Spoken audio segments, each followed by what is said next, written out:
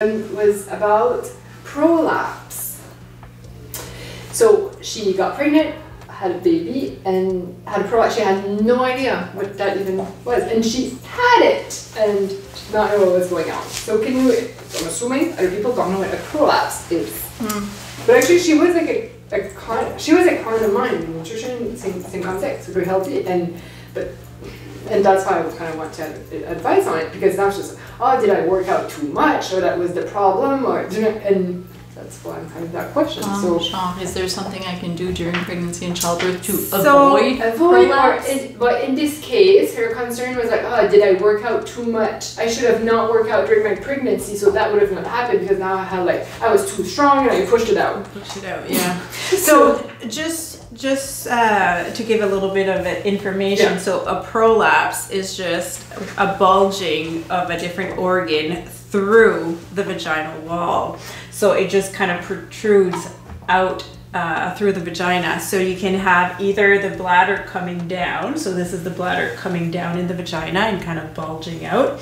You can have the rectal area kind of bulge out uh, through the posterior wall of the vagina, and then you have the uterus, uh, which can prolapse through and then through in the vaginal area. So there's three areas that you can um, have a prolapse. So not everybody that has a prolapse is the same thing. And a lot of uh, women or people think that when we say prolapse, we mean like, oh, my bladder's falling out. No. But it's not necessarily the bladder. It can be the bladder, but it can also be the uterus and it could be the rectal area. And those are all three different part Yeah. of the prolapse. Is there anything that can be done before to prevent it? So prolapse are they're a bit difficult because obviously yes there are risk factors for having prolapse. So yes, just pregnancy itself is a risk factor just because of the increased abdominal pressure on the pelvic floor which can have prolapse. Obesity or abdominal obesity would be one like uh, chronic coughing, uh, again anything that kind of increase the abdominal pressure to push down. Uh, people that have a very uh, heavy lifting for their job on a daily basis that's a lot of stress on the pelvic floor. Uh, we said we said just the pregnancy but obviously yes like pushing so if we were talking about like a vaginal birth obviously pushing uh, the longer that you push so if you push for three hours and above that would increase your risk. If you have a very um, big baby, so like a 10 pounder or above, uh, that is a risk factor. Or like if we use like forceps uh, or like an assisted vaginal birth, that can increase the risk of prolapse. But again, even if you have a C-section, it does not reduce or Prevent. prevent the, the risk of getting a prolapse because the pregnancy itself is a risk.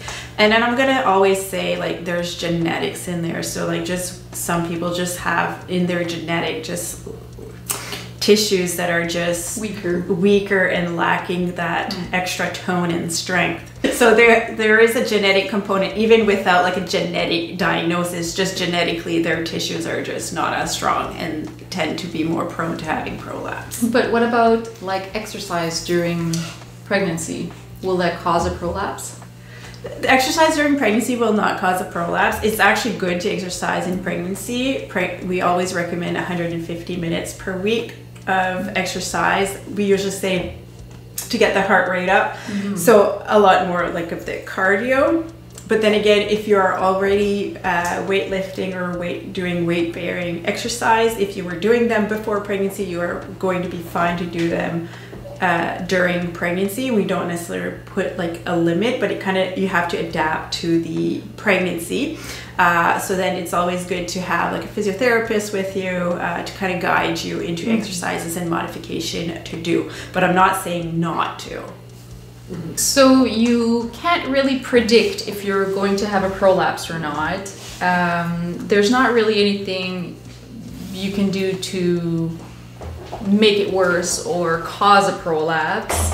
Um, once it happens, once you notice that there's something down there, there's a bulge, can you do something about it?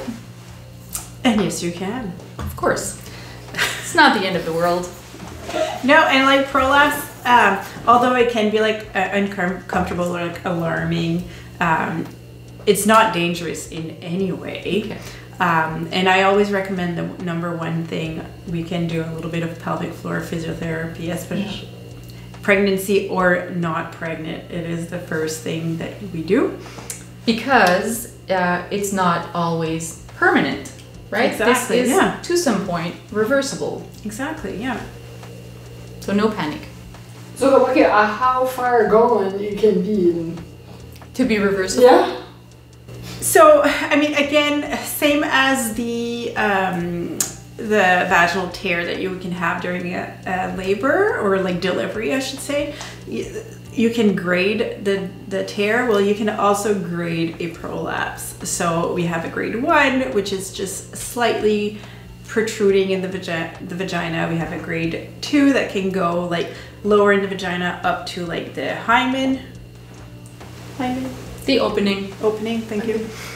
And then the grade three, which goes past the hymen. So it actually like, so when you're bearing down or that you are bearing down or not, like you can see it past the opening. And then grade four is like completely out. So obviously it's like 100% protruding.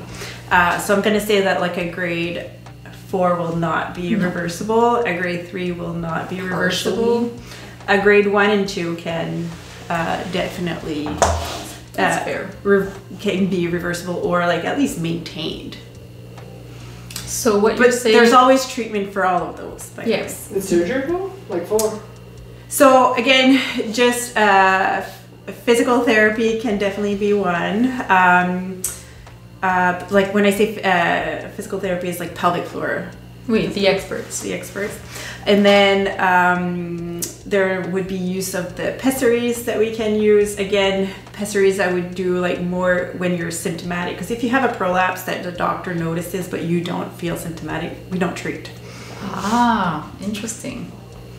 But we can have pessaries, and then obviously, yes, in, in more severe case, we can uh, use um, surgeries.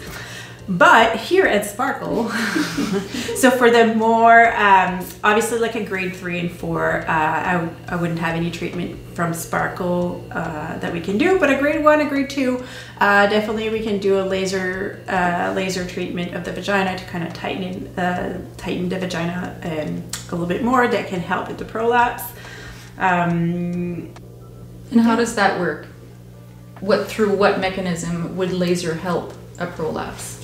The this it's a CO2 uh, laser. It's the Intima laser, and it, it's um, so it creates um, it creates little trauma to the tissue, and when the tissue regenerates, then it creates more collagen, uh, thicker uh, tissue, healthier tissue, and everything kind of just tightens up.